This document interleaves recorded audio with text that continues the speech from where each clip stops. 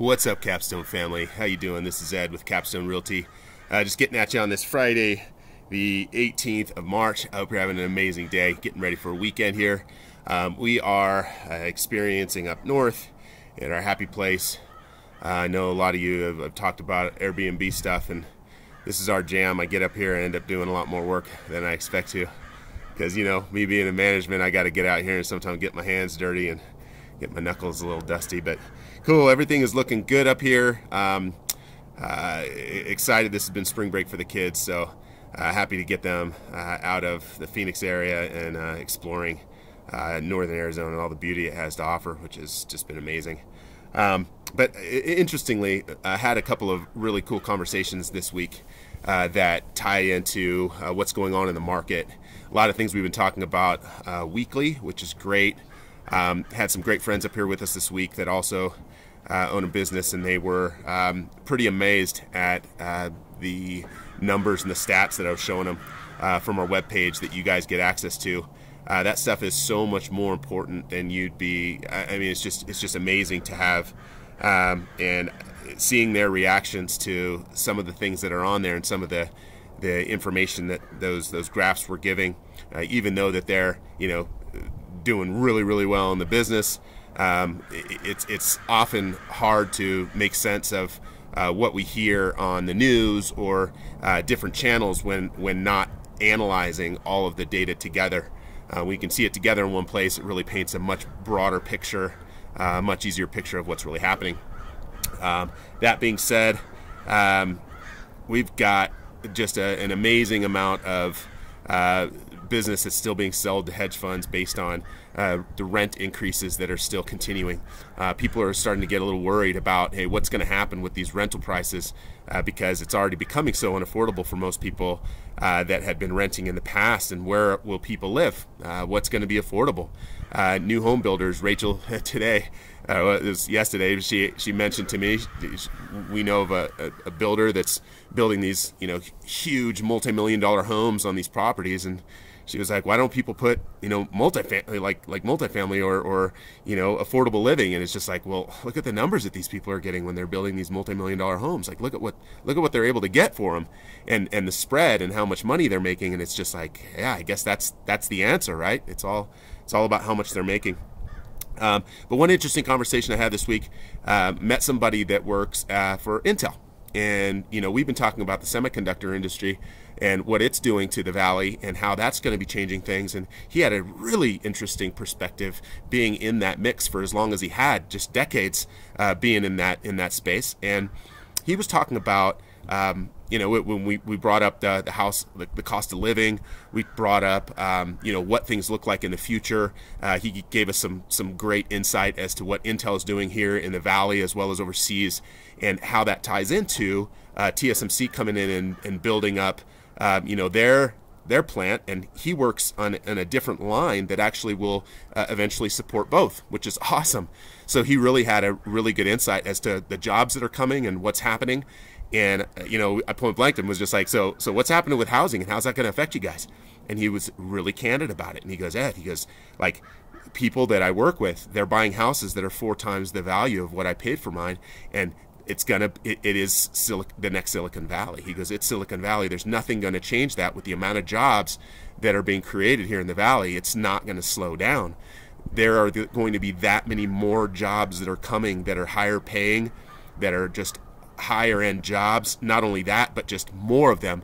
Um, so it's it's definitely we're on this precipice. We're on this you know this this space where people are you know holding out and waiting for prices to collapse or prices to change and it's like you know what even with interest rates going up that's not changing anything this market is still just trudging along if you look at the numbers uh, from last year to this year if you look at the active market for active properties on the MLS right now, we're we just went under 4,000 again, similar to what we did at the same time last year.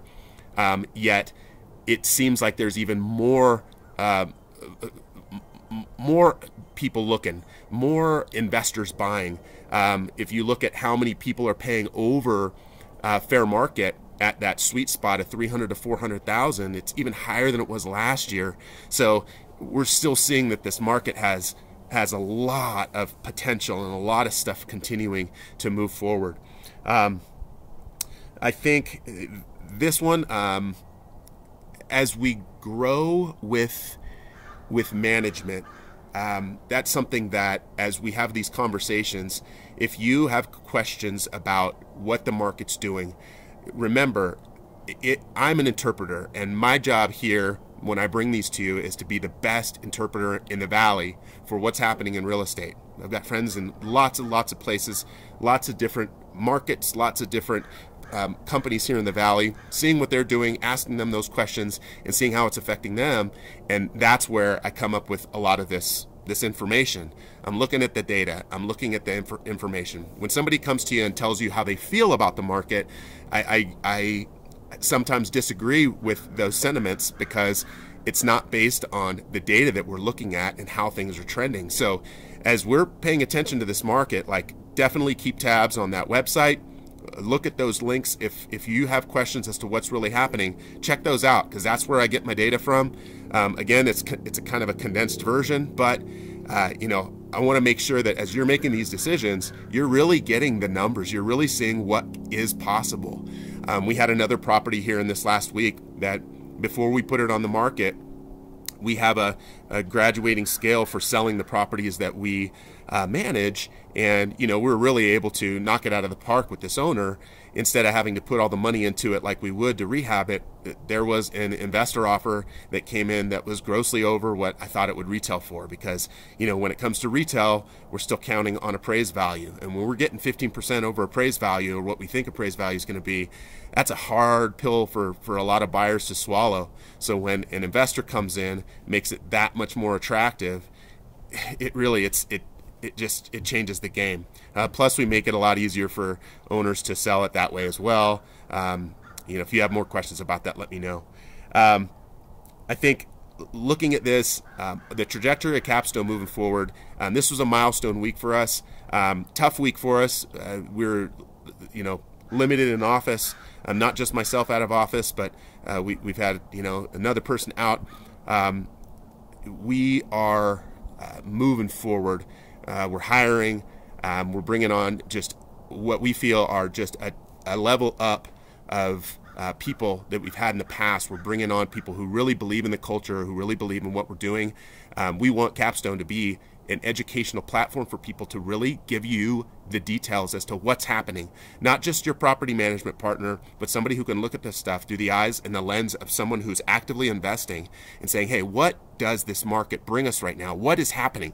Where are we investing? Where are, you know, those that, that we know investing? Where are we seeing the, the, the higher end investors, those that are these hedge funds that have so many more dollars than you know most of our clients, where are they investing and, and where you know even with the the numbers that they're getting, these lean, lean, lean numbers that I wouldn't generally recommend to any of our investors to buy.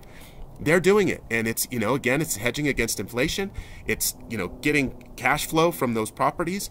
It's bringing in the dollars, and they're investing for this market long term. Um, we did hit 500 doors this week, which is amazing. Um, we're super excited for that. And our goal over the next few years is to grow our door count um, substantially. Um, we are getting to the place now where we do have the systems in place. Uh, we are now just looking for those right people that can sit in those seats, that can offer the great level of service that you expect, and really, and just own the experience. Um, we want those people to be able to come in, um, to have the ability themselves to create generational wealth for themselves, right? I want all my team to be buying real estate at some point. I want them all to be investing in real estate. I think that's that is where it's at, right? I believe in it that much. Um, I know what it's been able to provide for myself, the confidence that it's given me over the years of really just being able to make some of the decisions that I have, and I hope that for my team as well. Um, so, I, you know, looking forward I think that this market still has a long way to go. Um, I think that with the amount of jobs, with the amount of what's happening in this market, this is the place to be.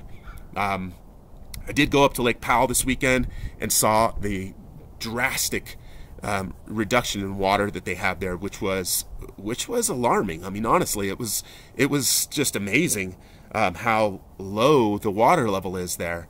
And you know, I don't know what that looks like long term. I do know that Arizona is not in a similar situation to California or Nevada. Nevada is in really bad shape. I mean, it, you know, Vegas gets all of its water from there, whereas you know we only get a, a, a fraction. We get like 30% from from the Colorado. So looking at what that looks like for development long term, if you are reading the business journal, you'll see there are some huge players buying giant swaths of land throughout the outskirts of the Phoenix metro area, and they're going to be building, and that building will continue, and we're probably going to see for the next five years, we're going to see just a lot of new builds um, hitting the outskirts. So If you have properties that are in that central area, like that, you you are sitting in a in a really good place right now. Um, I hope this message finds you doing well. Thanks for watching. If you haven't subscribed, please do. Send these out every Friday just to make sure you all know what's happening with the market, where our, where our head's at in this place as well.